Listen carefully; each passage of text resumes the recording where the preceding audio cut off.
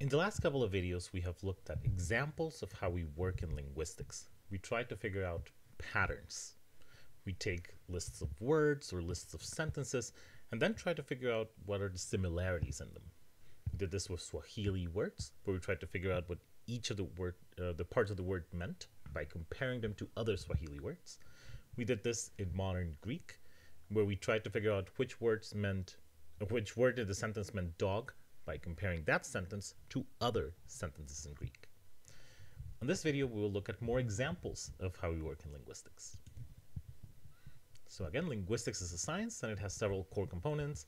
Phonetics, which is uh, sounds on in your mouth or on your hands. Phonology, which has to do with sounds in your brain. Morphology, which has to do with how the different parts of words are formed. And syntax, which is how we combine different words into sentences.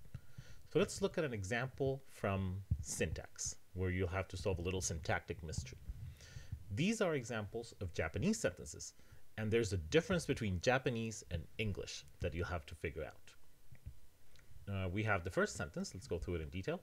Yuri-san wa daigaku de ka? The first line is the Japanese uh, sentence. The second line is the gloss.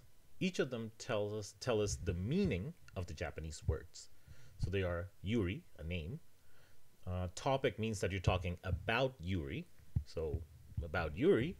Um, Daigaku de means university at, at the university. Dare means who.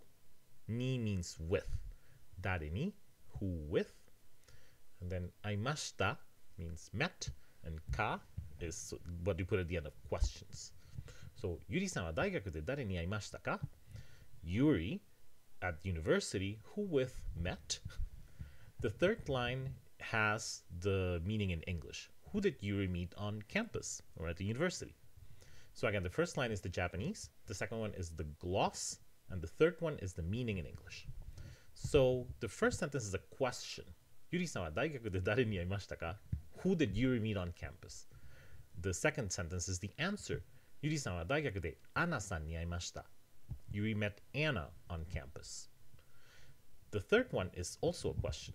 Kino nani o tabemashita ka? What did you eat yesterday? Literally, yesterday. What? The little O marks the direct object. You can ignore it for now. Yesterday, what? Ate you? What did you eat yesterday? Kino pizza o tabemashita is the answer. Yesterday, pizza ate. So, take a look at the words in red. Dare, who, uh, which corresponds to the English who, and nani, which corresponds to the English what. They are questions, and then they have answers. Who, Anna. What, pizza. However, there is a difference in the behavior of the Japanese words dare and nani and the English words who and what regarding to where they show up in the sentences. What do you think the difference is? Please pause the video.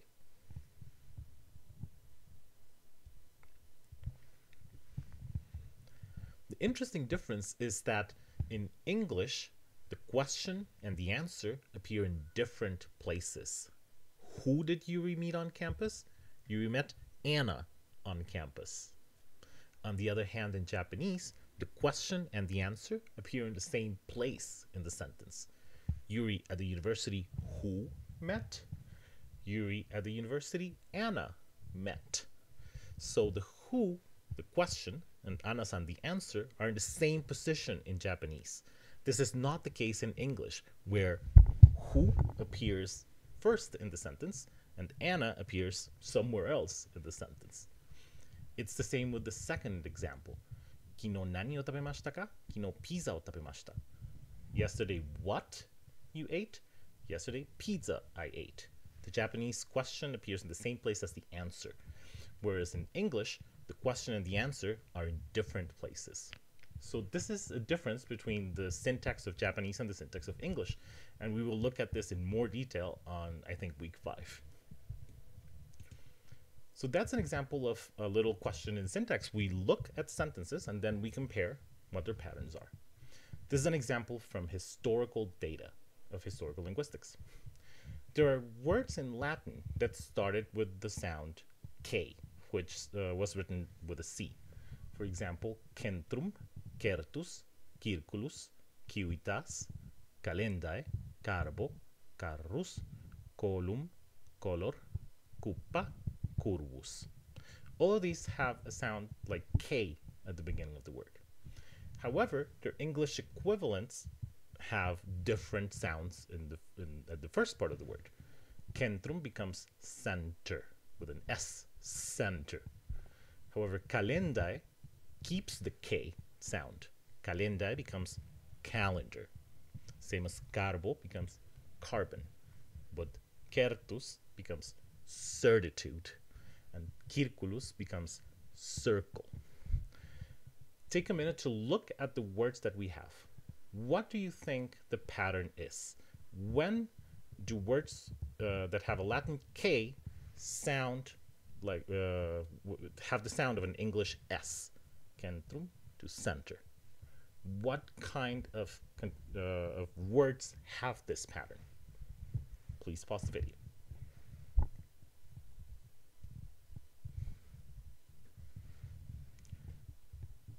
What we would need to do is to try to look at the sounds that are next to what we're looking at. So we're looking at the first consonant of the word, the k sound in centrum or calendae. And we can see that there's a pattern. On the left, we have all of the words that have an English S sound. And all of them have the sound A or E next to the K. So in so a word that has a K, in a word that has a K, that K becomes an S if the following sound is an A or an E. So what we need to do is look at the sounds that are next to the one we're looking at because that A and that E in centrum and circulus might be influencing the K and making it become an S, like in center. On the right column, because those K sounds are not followed by an A or an E, they did not change. And so they kept uh, their K sound as in calendae, calendar, curvus, curve. So again, look at what we did. We looked at a sound and then we tried to figure out what uh, the neighboring sounds were and how they might be influencing my own sound, how they might be influencing how I change over time. And we're going to be seeing this a lot. One final tiny exercise, and this is just a quick question. Take a look at those words and try to pronounce them yourself. Do they sound the same or do they sound different? Please pause the video.